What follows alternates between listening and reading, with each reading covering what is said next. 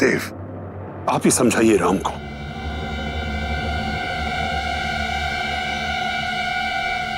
प्रथाएँ लोग निर्धारित करते हैं।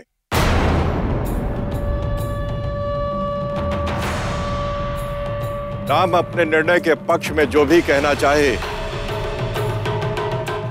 प्रजा से कह सकता है।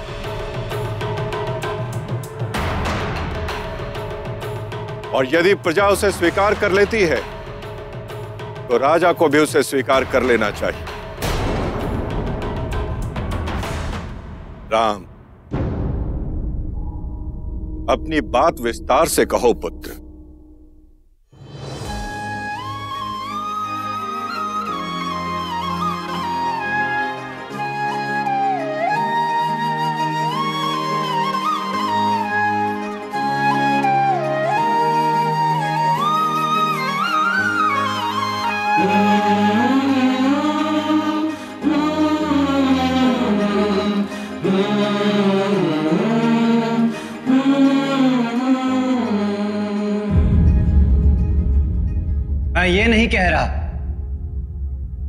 कि मैं जो कहूँ, वही होना चाहिए। मुझे कोई अधिकार नहीं। आपकी आस्था, आपके विश्वास में हस्तक्षेप करने का।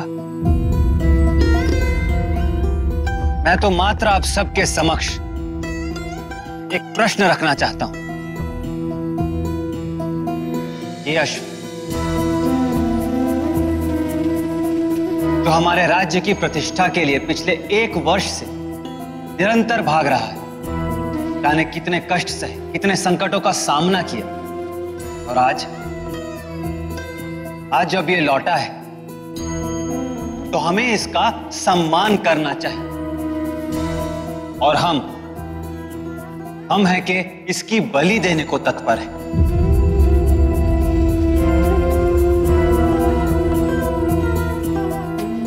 मैं आप सभी से एक प्रश्न पूछना चाहता हूँ। हम जो इसके साथ कर रहे क्या वो मानवीय है? क्या ये पारितोषिक मिलना चाहिए इसे? और किस लिए? क्योंकि एक प्रथा चली आ रही तो क्या हमें उस प्रथा पर चिंतन भी नहीं करना चाहिए? यूँ इस प्रकार एक, एक निर्दोष जीव की हत्या क्या उचित है कोई भी प्रथा कोई भी प्रथा जो हमें हमारे वर्चस्व का आभास कराती है हमें स्वीकार्य हो जाती है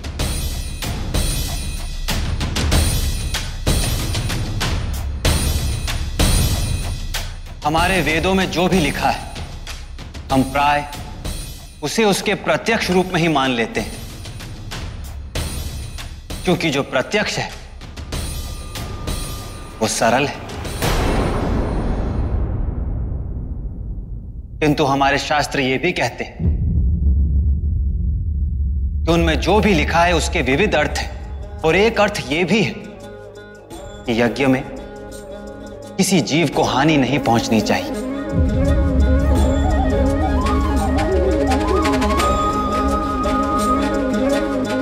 किंतु क्या हम उस पर ध्यान देते हैं? यथ पुरुषेण हविषा यज्ञम देवा तन्वत अस्ति नु तस्मादो जियो, यद विहव्य ने जीरे। अर्थात बाहरी यज्ञ से श्रेष्ठ आंतरिक यज्ञ होता है। हमारे शास्त्रों के गूढ़ अर्थ को ना समझने का दंड। एक निर्दोष जीव को क्यों दिया जाए?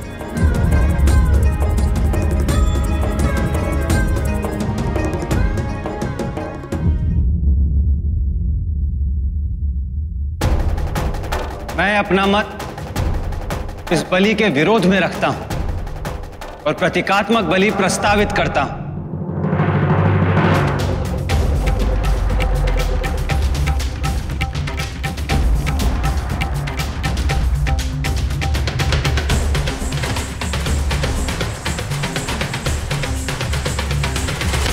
प्रत्येक कार्य के निष्पादन के लिए, यदि हम ईश्वर को दोषी मान लें तो ये समस्त मानव जाति के लिए एक धिक्कार की बात है। ईश्वर पे मुझे विश्वास है नहीं, पर मनुष्यों के उद्धार की आशा जो मुझे तुमसे है राम। उसके साकार होने पर अवश्य विश्वास होता जा रहा है।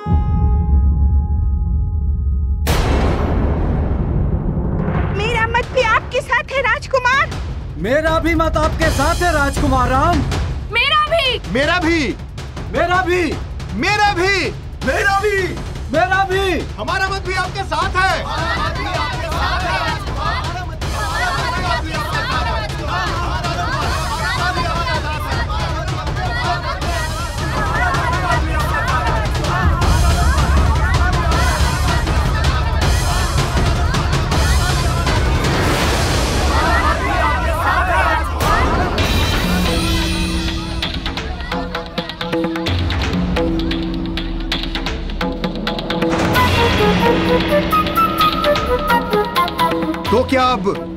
ये शिक्षित लोग निर्धारित करेंगे हमारी प्रथाएँ।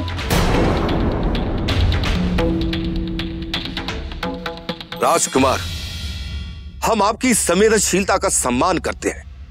किंतु साथ में यह भी स्मरण दिलाते हैं कि एक अश्वमेध यज्ञ एक सहस्त्र यज्ञों के समान होता है। और जब कोई राजा अश्वमेध यज्ञ में एक अश्व की बलि देता है तो एक सहस्त्र अन्य पशुओं की बलि रुकती है।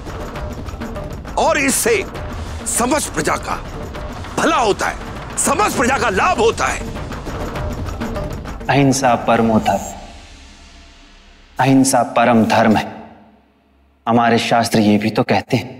किंतु यदि हिंसा समाज के उद्धार के लिए हो तो वो हिंसा नहीं है वो अधर्म नहीं है। और ये स्मरण रहे राजकुमार कि राजा की कीर्ति से ही प्रजा की कीर्ति का संबंध होता है। राजा की कीर्ति। किसी निर्दोष पशु की हत्या में भी तो नहीं है। बल्कि उसके संरक्षण में। मैंने तो यही सीखा है। कि सौ अश्वमेधों से बढ़कर पुण्य, किसी एक के प्राणों की रक्षा करने में।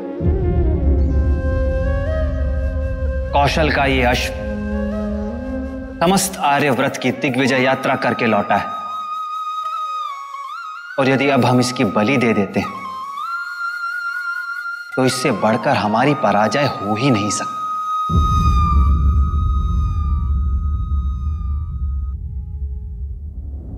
अयोध्या की प्रतिष्ठा। रघुकुल का गौरव। यदि आश्रित हो तो ऐसे कर्मों पर जिनमें प्रजा के, राज्य के हित के लिए राजा का व्यक्तिगत त्याग प्रत्यक्ष,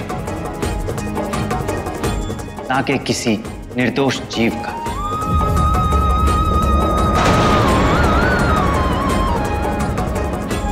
मेरा कथन यदि अनुचित हो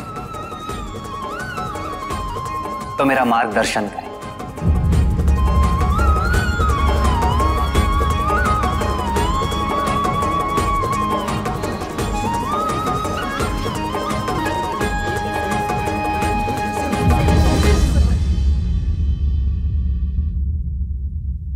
बस युवराज बस।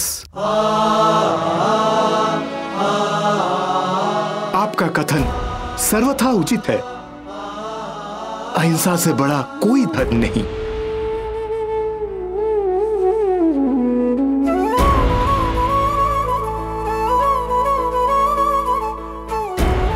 आपकी अनुकंपा के समक्ष कोई तर्क पर्याप्त नहीं।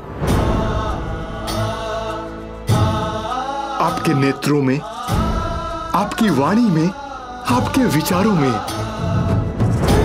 हमने उस अश्व के लिए जो पीड़ा देखी है, उसकी अनुभूति हमने भी की है।